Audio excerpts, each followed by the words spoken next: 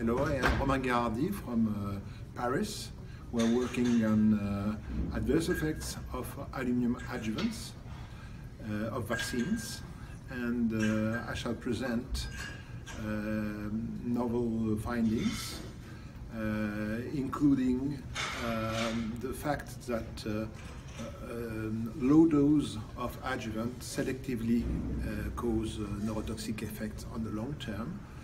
Uh, it is not clearly understood why only those small doses uh, are neurotoxic, but uh, the fact appears to be uh, clear-cut and uh, strong. Um, the second point, uh, we um, are uh, working on susceptibility genes to get intolerance to these adjuvants in humans. Everybody does not get ill after uh, being vaccinated with aluminum adjuvants.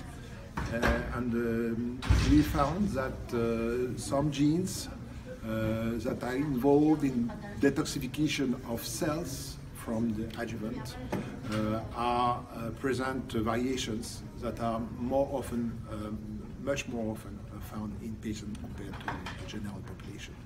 This opens the possibility to predict that uh, a given family or a given individual will get ill after being vaccinated.